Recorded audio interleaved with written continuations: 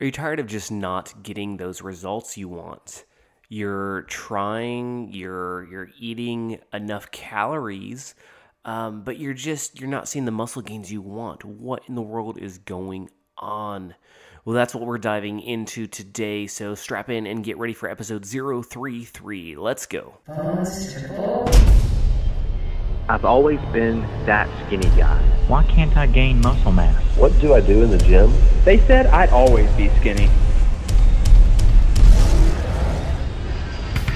This is your complete source for how to gain lean muscle and break out of your skinny body. From nutrition to getting the most out of your workouts and everything in between. We know just how frustrating gaining muscle mass can be, but don't worry, we've got you covered. You're listening to the Bones to Bulk podcast. Hello, hello, welcome to today's episode. I'm your host, Brian Parody, and you know, if you've been at this whole muscle building game for a while, you probably know that nutrition is an important element.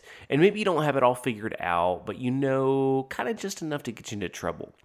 Let's dive into that. But before we do, I want to invite you to head on over to facebook.com and check out our private group. It's Bones to Bulk, and we're just wrapping up a fitness challenge. I post a lot of videos in there. We do just a lot of fun stuff in there that you don't want to miss out on. So, facebook.com, search for Bones to Bulk, and yeah, request to join the group. All right, with that being said, let's dive into the food element. So, like I said previously, you know, you know that food is important, but why does it just not seem to be working for you? Why are you not seeing the muscle gains? Why are you not seeing the, the growth that you that you really are longing for?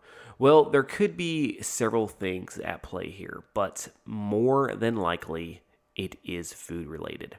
Now, you may know that you in order to gain weight of any kind, you have to be eating more calories than you are burning you got to basically put in more than you give out. Think of it like uh, the gas tank in your car. You can't drive 500 miles on one tank of gas if your gas tank only holds um, enough gas to get you 400 miles. The math just doesn't add up. It's the same way with your calories. If you're burning 3,500 calories a day, um, then eating 3,500 calories is going to simply maintain what you have, and you're not going to experience any growth. So that's basically the breakdown of why and how your calories need to be more than what you're burning. But they can't just be any calories. If you eat 3,500 calories of, let's say, a pack of Oreos, I think there's more than 3,500 calories in a pack of Oreos. If that's your daily consumption of calories, it's not going to do much for those gains. It's just not.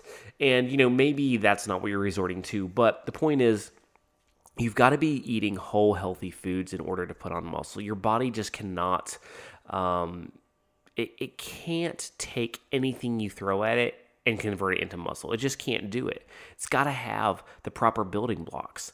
And, you know, uh, if you've heard anything about protein, you know, the amino acids are the building blocks of protein, and protein is just everything. But that being said, you can't just down a ton of protein powder and expect muscles to sprout all over your body. It's not going to happen once again.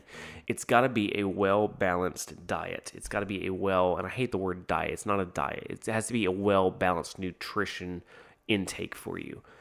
So basically, what you want to make sure you're doing, you want to be eating healthy meats. That those are kind of the staple for at least two meals a day, your lunch and dinner. You know, whether it's chicken or tuna or some other type of fish or turkey, you need a lean, healthy meat packed with protein. Second off, if you're not eating carbs, I'm not going to go into the keto thing. I'm not. I'm not going to do it.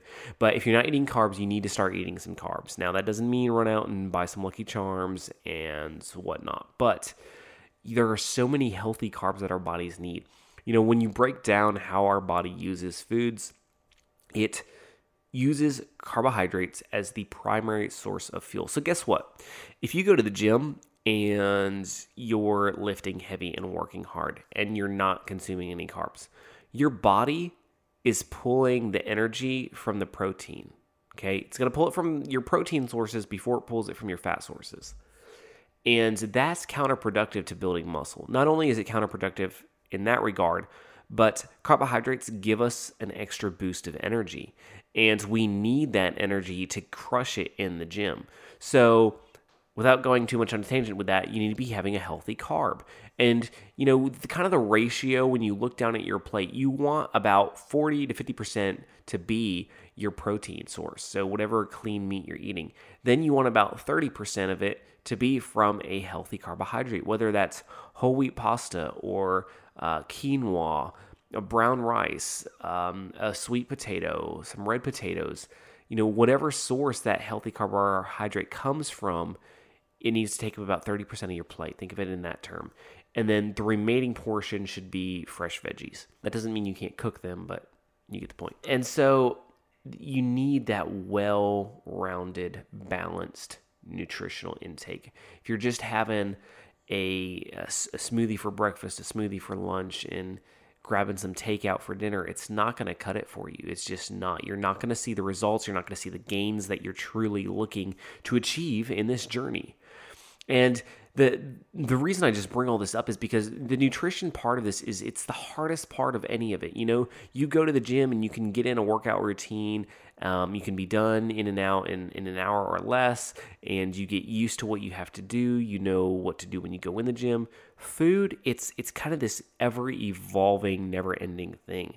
You know, you it's it's constantly in front of you because I mean we eat 21 meals a week if you're eating a normal three meals a day and then you've got all your snacks in between and then you've got get-togethers or going out to eat and with other people and how do you handle all that. So there's so much to the food game and it's not something that you can learn overnight. It's not something that you can just be on point with like by day two. It, it takes time to learn. I'm still learning what uh, what things work better for my body than other things, and what assist my muscle growth better than you know something else. And so, I say all this to encourage you to to try new things, to to not get stuck in well, I'm drinking my protein shake and that's hopefully will be enough. No, get out of that mindset. Start looking at food in a different light. You know, food is not this um, just totally satisfying thing that we eat solely for pleasure. It's something that sustains us, that nurtures us.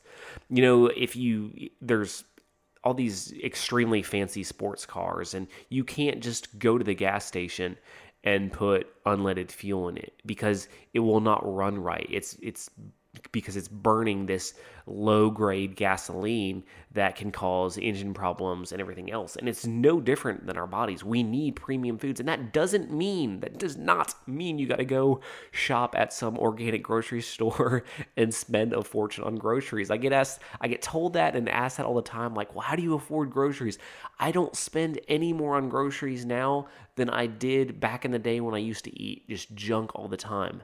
I don't. In, in fact, if anything, I probably spend less now because I plan things out more and I buy things and cook them myself. So I'm not buying food out and, and all that. So don't think that you've got to just become some organic guru who who buys all that expensive crap because I don't. I'm I'm a store brand guy. If if they have a store brand, I'm telling you what, I'm buying the store brand because the same crap that's in the regular brand is in the store brand. Um, so don't think that, you know, well, I can't afford to eat healthy. I'm telling you, you can. You know, the, average person um, spends over five to six, it's I think it's five to eight dollars on lunch every day. Just lunch from eating out. Like my lunch probably is less than a dollar that I cook at home. I mean, just think about how much money you start saving when you start cooking your own food and planning it out. And you know, one last thing with nutrition um, is kind of the the liquid diets and and all that. And you know, I did mention that don't just rely on your protein smoothies. That's not enough. However, I will say this for me personally, in order to get the amount of calories I need in a day to gain or maintain, it's a lot. And if I had to eat it all in a whole food base, it would be very difficult. So I'm not saying you can't add in an extra like protein smoothie. I highly recommend that actually because it's easier to drink your calories and eat them. I highly recommend as a snack, as you know, something in between meals to boost your calorie intake.